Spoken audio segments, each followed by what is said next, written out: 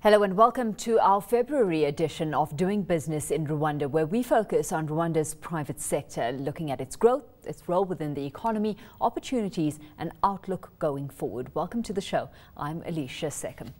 Well, the Rwanda government's aspiration of Vision 2020 is to develop an efficient private sector spearheaded by competitiveness and entrepreneurship. CNBC Africa's Loise Wachira takes a closer look at the sector's growth and the role it plays within the economy. The private sector is the primary mover of the Rwandan economy.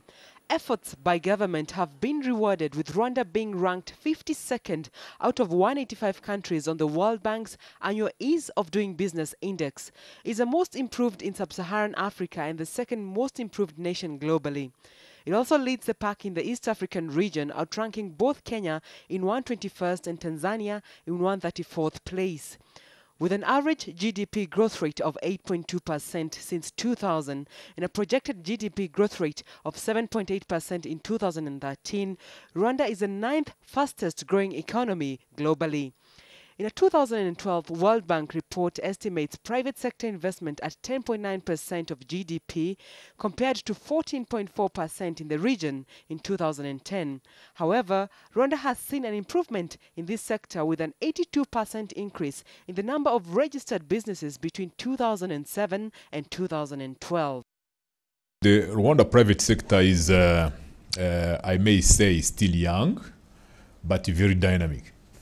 Uh, very uh, uh, dynamic. It has been developing itself, and but still, from the government assessment, we we still feel that there is a huge room for improvement, uh, particularly when it comes to take advantage of the opportunities we do have uh, in the economy. There are, for example, a number of areas where really uh, the government like to see uh, the private sector taking uh, the lead in terms of uh, mobilizing resources for investment. If I say, for example, energy. So uh, Rwanda now is suffering from uh, low generation capacity of electricity or other source of energy and uh, uh, we have been uh, going around to to head hunting private investors to do something to help the country to increase the generation capacity. But uh, when you see how our own private sector is trying to organize itself to play a role we don't see it coming. Where at the same time, they are the first one to complain on a daily basis about uh, uh, lack of reliable energy and the cost. And in my view, it's not because they don't have the financial capacity. It's a question of uh, organization and how to take advantage of existing opportunity to tap into.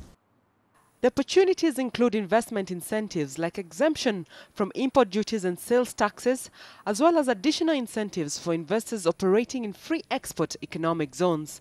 The government is also committed towards a comprehensive privatization policy that will help reduce costs and prices and widen consumer choice. The tea sector uh, is one of the you know, successful privatization ventures that government of Rwanda has undertaken. Uh, until uh, 2002 or so, all tea farms used to belong to government, the farms and the factories. And um, of course, that what that would result into, you know, depleted machinery, uh, loss-making entities, uh, with the result that government had to be, you know, put in more money and put in more money until they were privatized. Now we have a very strong private uh, tea sector uh, in Rwanda. Uh, in fact, I think all of them, I think the last one, if it wasn't privatized recently, and there are about nine of them, it should be now maybe in the process of being privatized. That is one of the areas we're seeing so much growth in terms of volumes uh, of exports, but also in value because the, the, the methods of farming, the, the, methods of processing, the improve, improvements in efficiency has resulted into real gains for the country. Uh, in the mining sector, a couple of uh, mines that were privatized, and that has led into real investments that you can see that you know somebody is now not doing uh, top surface mining, but rather extraction, and that has you know led into employment creation. Exports have increased. You know, revenue generating uh, uh, lines for Rwanda. In terms of foreign exchange, you could also see real gains. Uh, the hotel industry, what is now called Serena, it used to belong to government when it was uh, the, hotel diplomat and became intercontinental. It's one of those that have, have been privatized. The, the ag agro-processing, a couple of uh, rice farms, a uh, couple of, um, I think also some coffee processing uh, factories that have been privatized and since then you can see real, real gains. Government wants a private sector-led economy. They do not wish to continue investing money into businesses. Like I said, they may be good at doing certain things, but they're not very good at doing business. So it is better in the hands of the private sector. Some economists are of the opinion that governments have no business running commercial institutions. As part of its long-term development goals embedded in its Vision 2020, the Rwandan government has actively embarked on privatization. The government has been focusing on privatizing a number of firms, particularly in the uh, banking sector. It has been successful in privatizing some of the banks over the last couple of years. Um, that has uh, improved competition amongst the banking sector. That has increased productivity and has led to uh, reduction uh, in increase in deposit taking and reduction in uh, interest rates. Um, so it, we view it as a very positive step on the part of the government According to the Rwanda Development Board, a total of 86 public firms are expected to be fully privatized over the next five years, of which 56 are complete and seven have been liquidated. The partly privatized companies and those expected to undergo the process view the move as an opportunity to showcase the companies and countries' growth potential through reliance on a vibrant private sector. The privatization process uh, is a very useful um, uh, growth phase uh, for a country uh, that, that that is emerging markets uh, like Rwanda. Um, the privatization helps uh, showcase the country and its, uh, and its uh, ability to mobilize uh, not only local but also international investors. Privatization always comes in with new ideas, new capital, new, new opportunities. Uh, it is always geared or intended to improve what is already good. Bank of Kigali, which is the only local bank listed on the Rwanda Stock Exchange, credits its growth to the privatization process. Uh, we got uh, privatized in 2011, uh, where 45% of the bank's uh, capital uh, was floated on the Rwanda Stock Exchange. And uh, the subscription was, over, it was an oversubscribed um, IPO by more than 280%, with a significant participation from the international investors. Um, and this process, uh, as we were going through it, we were able to demonstrate to the international world uh, the benefits that one would derive from investing in Rwanda. We were able to showcase the strong uh, macroeconomic environment, uh, the GDP growth, the, the low inflation uh, rates over the last few years. And it was a good opportunity to get a feel uh, of what other investors think about the country. The international allotment was oversubscribed by more than 300 times. Uh, and this in itself demonstrates that there is a huge appetite uh, for people out there uh, in the international markets to try and come and invest in Rwanda.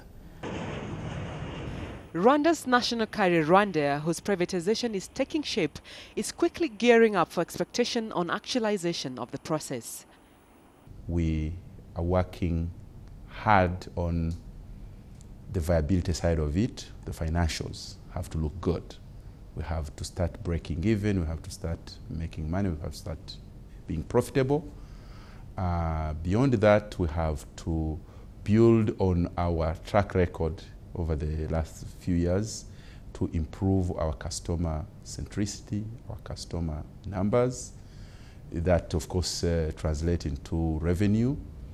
Uh, keep our, our safety record impeccable and to that, we are working very hard, probably before the end of this year, to be IOSA certified, which puts us at the next level in terms of safety and which sends a message straight to the market and to all our customers that we are a serious, safe, and reliable airline.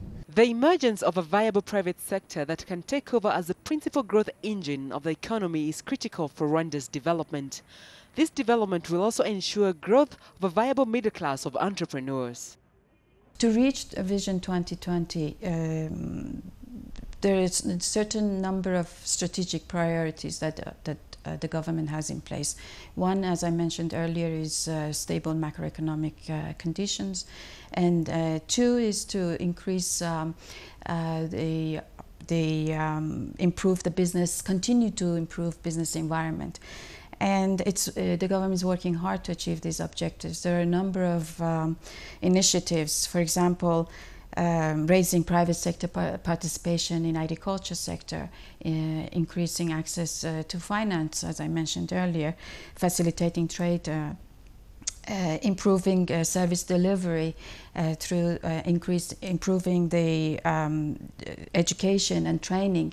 There are a number of initiatives that they have been focusing on and and uh, together with the private sector uh, initiative uh, increasing their investment, we, we see these as, as a positive step going forward and um, bearing fruit over the in the medium term.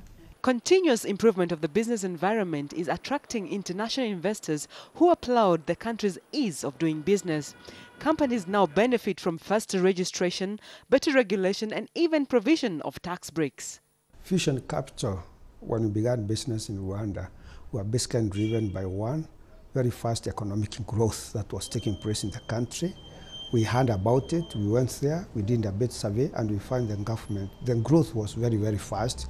Second was the legal framework, which made it easy for us. One is that we could open a one-man company with as one director without necessarily needing a local person. That made it easy for us again.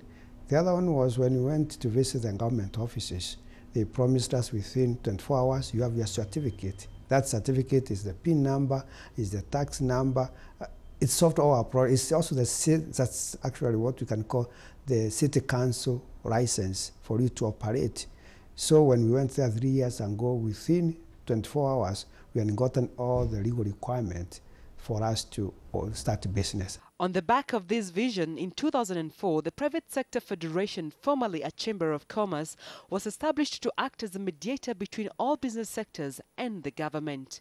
At that point in time is, is when government started saying, even in their own planning, to say we need to find a way of, of supporting private sector. Uh, as a result of the formation of the federation, uh, the smallest private sector that there was, they began engaging government uh, to find ways of you know, supporting them or passing such policies that would help uh, business thrive. So since then, you can see a shift of, of you know, talking private, public investments to, to, to private investments. That, of course, when that was put in place, they realized, oh, um, our businesses are too small. If there exist some uh, too infantry that they cannot survive. So they began putting in place uh, some of the support services to businesses. Uh, and at that point is when they, they, they, the private sector federation you know, started taking shape uh, with regard to you know about six or four things that they, they, they did with regard to ensuring that the policies that are being passed, that the uh, regulatory framework or the, uh, the, the, the, policies that government, economic policies that government was passing are pro-business. So they began doing some advocacy, uh, and of course, that translated into we realize we can't do advocacy, we can't have businesses if we don't have support services for them. Uh, that's when capacity building for businesses became, became an issue and we started doing, so how, what do we do, how do we build capacity? And capacity is in many things. Uh, it's financial capacity, human intellect capacity, you know, even knowing exposure itself. Uh, then they realized, oh, there's no entrepreneurial culture in Rwanda, so businesses aren't there. If they're there, they close easily. So all these things, the foundation started looking at how do we then play a role in, in helping government to ensure that what they want to be put in place is realized. Taking advantage of this platform, the Private Sector Federation has been instrumental in steering regional and international trade for Rwanda's budding private sector firms. Since uh, a number of years back, uh, we realized that there was really a need uh, to build to build a strong public-private partnership in this country to maximize the potential uh, from the private sector to participate in the whole growth agenda. And uh, the way you have been thinking doing it was through establishing a, a public-private dialogue platform. It has been a dynamic process. Uh, at the beginning, we thought perhaps it was necessary to establish a very uh, strong secretariat under the Prime Minister office. But we realized sometime later that uh, perhaps this was not the most efficient way to do it because after a number of years we realized that the dialogue which has been uh, uh, conducted was was very small compared with what we were really expecting. And uh, we in somehow decentralized a little bit but providing a way for really the private sector itself to take more ownership in preparing this public-private dialogue process. We decided to establish a very small unity within RDB, working now with the private sector federation to design a public-private dialogue framework. Uh, this is extremely important because it's through the public-private dialogue that you can understand better what are the the, the challenge the private sector have and what are the expectation from the government in terms of facilitating them really not only to do business but also participating in investment projects. If you look at the trade flows, uh, Rwanda was a net importer from the region. Uh, it's only now at the beginning to see uh, targeting some of the companies to export into the region. Our, our fruit processing uh, company, Inyange, uh, our handcrafts people uh, are now part of the Juakari uh, network in the region. They export some of the handcrafts. Um, our services industry, beginning to see some of our, our, lawyers conduct business in the region. In the region, our auditors. So there's been a couple of, of things that we've worked on, but you realize that uh, it would be difficult to, to, to do that haphazardly, but we'd rather have to engage the region uh, and our sister countries in the region to undertake certain reforms to allow free trade. Uh, and, and we working with uh, the East African Community Secretariat to ensure that the reforms we need, for example, right of establishment for businesses, if, if one of uh, Rwandans had to go and establish a business in Tanzania at the moment, uh, the requirement is that they have to get 51 shareholding from a Tanzanian. And that doesn't allow us to, you know, uh, freely do business there. Uh, and, and, until such reforms are undertaken in those countries, which Rwanda, by the way, has undertaken, and I think we have to go at, uh, on the top of, of, of the ladder, until those reforms are undertaken, it becomes difficult to have meaningful regional uh, investments or trade happening between Rwanda and the other countries.